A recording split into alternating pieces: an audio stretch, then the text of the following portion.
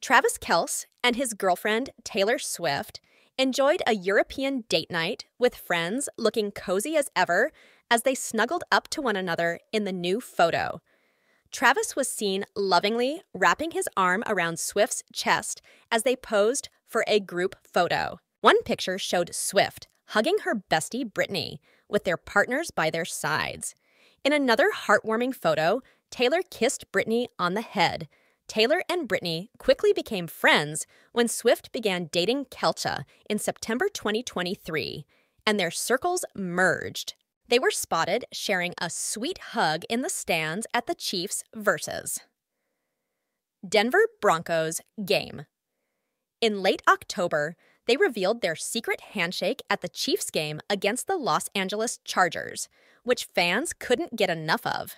Please subscribe to the channel for more celebrity news.